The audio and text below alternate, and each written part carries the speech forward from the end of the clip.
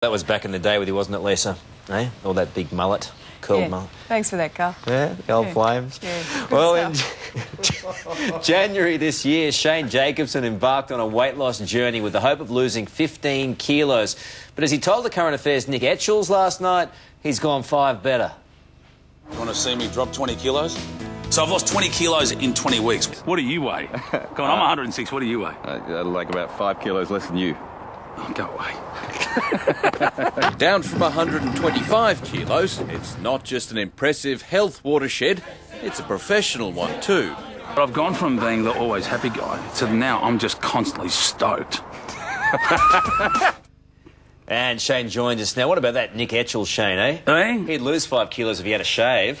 Well, he's, he's, he's like me, which we both spoke about, that, that we're over 100, and everyone says that's massive. But for me, I look light, you know, at 106.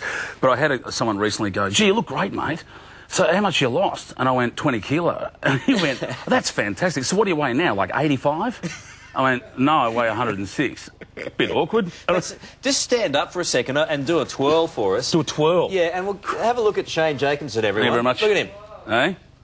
Said I loved you, Look but I lied. And, and just, and just, Hello, I'm Johnny Cash. you haven't, I haven't finished with you yet. Just, just stand up again because the girls are keen to have a look at you. From, you know, have, have a little twirl, Do that? and then stop there. Look, you dropped your pen. Oh. you know- I've just pulled a calf muscle. This is going to look harder. Hey, hey. And I'm flexible. There you go, girls. Thank you very much. A little bit of Shane Jacobson for you. What I love is he said the girls want to see it, but I put my butt to you.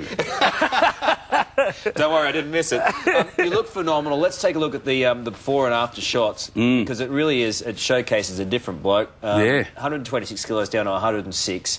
Um, you've lost the equivalent of two car tyres. Yeah. Which is unbelievable. What foods um, were you eating, and compare it to, you know, how you've cut those out and what you're eating now? Well, I've always said that I actually wasn't a big junk food eater. Like, like McDonald's and KFC would go broke if they relied on someone like me. But uh, so it wasn't the junk food. It was just things like pastas and you know. And I would eat at the wrong times. Like I wouldn't eat all day, and at night I'd, I'd, I'd, I'd just hoe into everything. But it's. Uh, I, I know we spoke before, before the break about the fact that.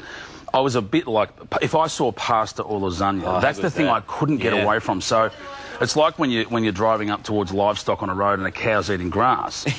if someone tried to speak to me while I was eating lasagna, I couldn't get my head up. So I would my head would be down, grazing. Mm. Mm. Don't talk. So that was the thing I couldn't get away from. So it's things like that, and all I, it's about portion control. I think it, that's like it's like for a lot of blokes at home, like when you're eating your main meal, like you just love it so much. You're not talking about it, but it's, I guess it's portion size. It is. um, and, Yeah, it and is. just trying to cut down the the number of those meals that you do have in order to sustain the weight that you've lost. Is, And is mate, if you, if thing. you if you knew what I'd have learnt through Jenny Craig, you wouldn't be this hideous, this massive. I know. So I, I'm hoping to teach people like you. well, you know, I went through it a few years ago, and it's, I don't think it's easy um, to change um, years and years and years of bad practice. yeah, no, it, it- it's true, but.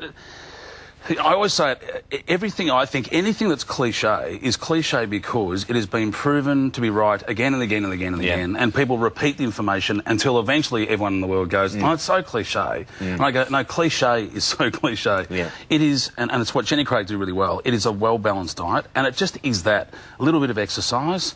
But you don't have to, you know, I keep saying I'm not out there doing an Olivia Newton John film clip, you know, sweating in a pair of tights. You just go for a walk or just add a bit of exercise. But it is, you just eat the right foods, and it does all work out. Shane Jacobs, great to catch up with you. You've lost weight, but none of your sparkling personality. No, Which is fantastic. I've got, I've got to tell one quick story. Yesterday, I just want to say hello to the driver that picked me up the other day, uh, last night going to the airport. He said to me, uh, you, uh, what- Shane, what is on in uh, Sydney? And I said, oh, I'm doing some press for Jenny Craig. He said, I drove this uh, Magda. I said, yeah, Mags, Magda Szubanski, yeah, she's great. She do the diet, she looked very good. Uh, so, now you're going to start on the diet. uh, no, I've finished it. Okay, so to the airport. Oh, those crazy Kiwis. Hey, don't I do a great French Italian Riviera I'm with you on that one, man. I'm with you. Thank you very much, Shane. For more information about Shane's weight loss and his plethora of accents, um, go to jen4men.com. Great fun to see you, man. Best Great to be here, mate. Lisa. Thank you, boys. Well, a new series of the Block